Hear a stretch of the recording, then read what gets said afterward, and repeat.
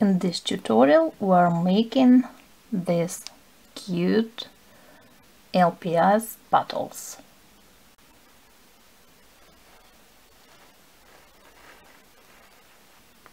Take a glue stick, take a Japanese knife, measure slightly less than an inch, maybe 0.8 and start cutting off a small piece.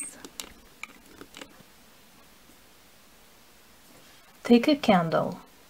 Ask an adult to help you. Hold the glue stick above the candle and let the edges melt a little bit and you will see that it's melted because it's gonna be like more transparent, more clear at the edges. See the edges start getting like more round.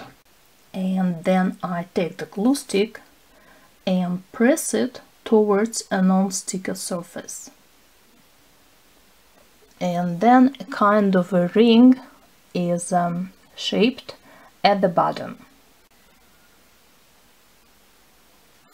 I'm taking a pony bead, I'm taking my glue stick and now I will melt it at the top just in the same manner as uh, before.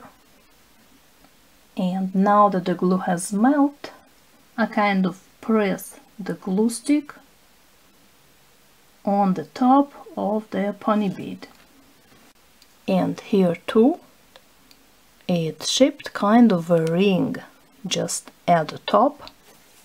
I'm gluing a cute sticker on the top of it and here you have your uh, cute uh, bottle